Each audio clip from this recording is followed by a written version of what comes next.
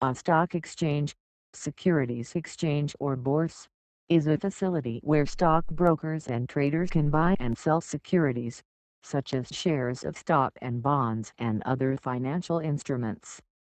Stock exchanges may also provide for facilities the issue and redemption of such securities and instruments and capital events including the payment of income and dividends.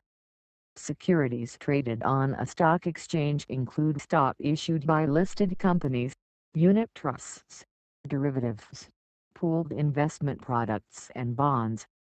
Stock exchanges often function as continuous auction markets with buyers and sellers consummating transactions at a central location such as the floor of the exchange. Many stock exchanges today use electronic trading in place of the traditional floor trading. To be able to trade a security on a certain stock exchange, the security must be listed there. Usually, there is a central location at least for record keeping, but trade is increasingly less linked to a physical place, as modern markets use electronic networks, which give them advantages of increased speed and reduced cost of transactions trade on an exchange is restricted to brokers who are members of the exchange.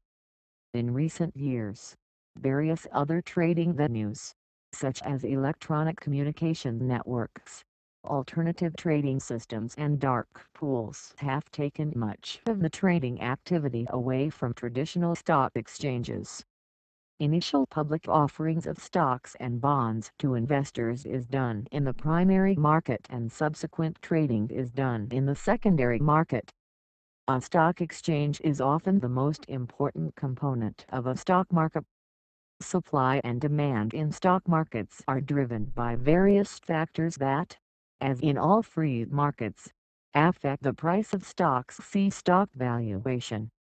There is usually no obligation for stock to be issued through the stock exchange itself, nor must stock be subsequently traded on an exchange.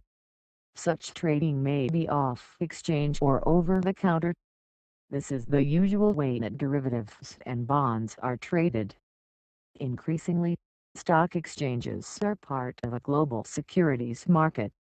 Stock exchanges also serve an economic function in providing liquidity to shareholders in providing an efficient means of disposing of shares.